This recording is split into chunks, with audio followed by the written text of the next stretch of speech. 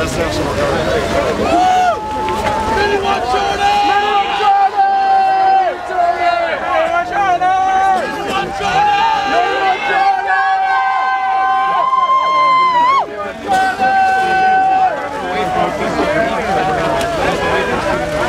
Very